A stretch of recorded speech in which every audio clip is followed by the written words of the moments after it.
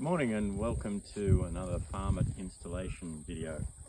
Today we're going to be showing you how to install a farmIT rain sensor on a tipping bucket rain gauge. So this is a typical tipping bucket rain gauge. Uh, the first step is to just undo the three um, hexagonal screws and once you've done that you can lift off the lid then it's simply a matter of then taking these two wires which are on the back of the sensor and screwing them into this connector. So there's two pins here, two pins there. You need to use either the two pins on the left or the two pins on the right. It doesn't matter which wire goes into which pin, uh, it uh, doesn't, doesn't affect the operation.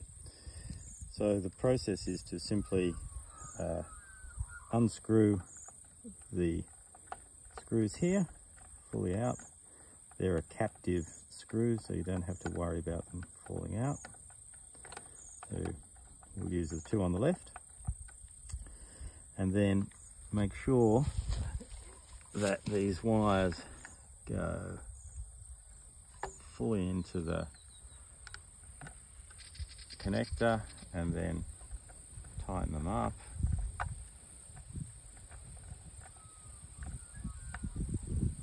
nice and firm. And do the same for the second wire.